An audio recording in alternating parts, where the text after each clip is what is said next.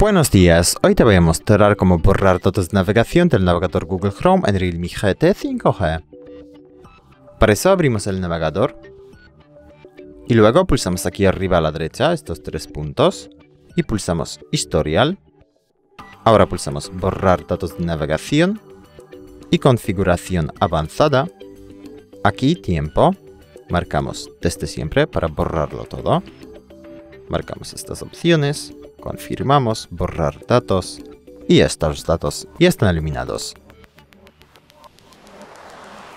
Muchas gracias por ver el vídeo, te invito a comentar abajo y suscribirte al canal. Hasta luego.